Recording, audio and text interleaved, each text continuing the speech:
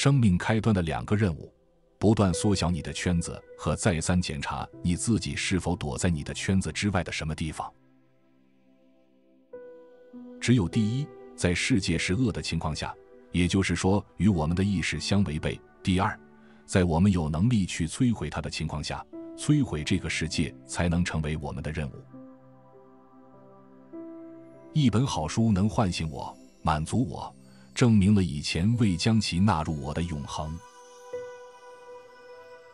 在我听不到它的时候，它是变成了本身无法让人听到，然而同时把对抗之音压了下去。或使之渐渐陷入痛苦，那对抗之音即使我对永恒感到索然无味的那个。别罗列理由了，容易的事就是难，这是这么容易而又这么难，就像一场狩猎游戏，唯一的休息场所是世界之海彼岸的一棵树。生命意味着处于生活的中间。用那种我创造了这种生活的眼光去看它。这个世界最重要的特性是其可视性，在这个意义上，过去的一个个世纪并没有走在这个当前的瞬间前面，所以可视性的延续不能给人任何安慰。新的生命从废墟中发芽开花，与其说证明了生命的坚韧，不如说证明了死亡的坚韧。罪孽总是公开到来，凭感性立刻便可抓住。它深入感性的根部，无需把它扯开。你可以避开这世界的苦难，你完全有这么做的自由，这也符合你的天性。但也许正是这种回避，是你可以避免的唯一的苦难。这个世界的诱惑手段和关于这个世界只是一种过度的保证符号，实际上是一回事。这是有道理的，因为只有这样，这世界才能诱惑我们。同时，这也符合真情。可是最糟的是，当我们真的被诱惑后，便忘记了那个保证，于是发现善将我们引入恶，女人的目光将我们诱到她的床上。发明赶在我们前面，就像海岸总是赶在不断被其机器震撼着的蒸汽轮船的前面一样。发明做出一切能够做出的事来，这么说就不对了。飞机飞得不像鸟，或者我们永远没有能力创造出一只鸟来，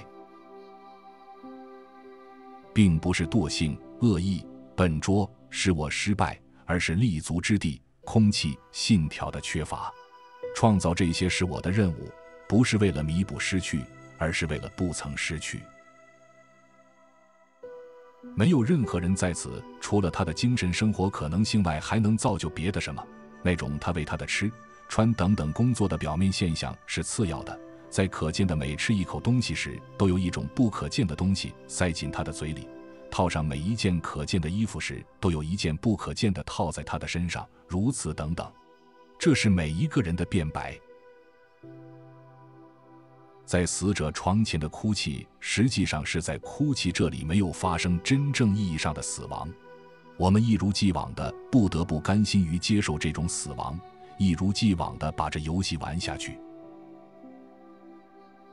你没有走出屋子的必要，你就坐在你桌旁倾听吧，甚至倾听也不必，仅仅等待着就行，甚至等待也不必，保持完全的安静和孤独好了。这世界将会在你面前褪去外壳，它不会别的，它将飘飘然的在你面前扭动。亚伯拉罕误以为无法忍受世界的单调，实则是为深刻体验其丰富多彩。抱怨单调是对世界体验不足的埋怨，是跃入世界的跳板。要过最有节制的生活，只是最必不可缺的东西，比如作为最低酬劳。同时，也是最高酬劳：面包、水、枣子，吃最穷者的伙食，住最穷者的住处。我本来应该很满足了。我是市政府的一个官员，在市政府当个官员是多么美好的事啊！工作不多，收入足够，有许多业余时间，在城里到处享受过分的尊敬。我触及什么？什么便破碎？扶桑之年已经过去，鸟翅膀耷拉下垂，月亮裸露在清冷的夜里。星河橄榄树早已透熟，岁月之善举。活总是可以重新干过的，只不过是花点钱的问题。让钱见鬼去吧！可是如果一个人完蛋了，那就意味着一个人完蛋了，就会留下寡妇、孩子。我的上帝！绝望地乘着一只小船绕过好望角。这是清晨，风很强劲。一叶小帆绝望地鼓着，有气无力地后仰着。这只小船以其很浅的吃水，在这片危险的水域的所有暗礁之间，以一个生物的灵活性穿行而过。它在这船上有什么可害怕的呢？